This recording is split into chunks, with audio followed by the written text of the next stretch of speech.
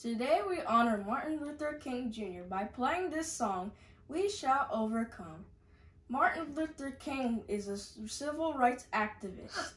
This song reminds us of what Martin Luther King did. He overcome those barriers and many other barriers. And the song We Shall Overcome came from a community center in Raleigh, North Carolina. And a person shouted, Teach us, we shall overcome and that's when the song was born.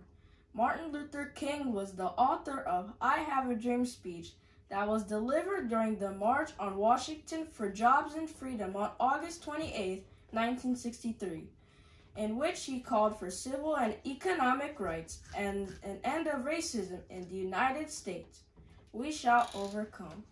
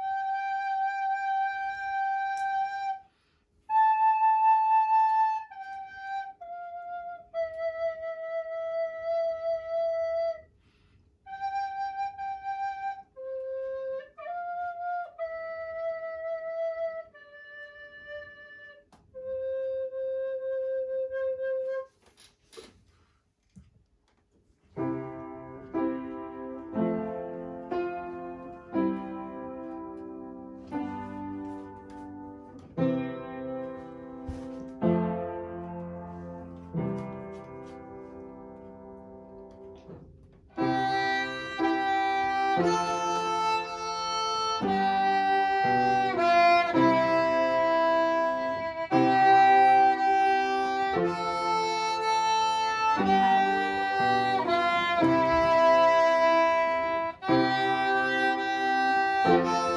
you.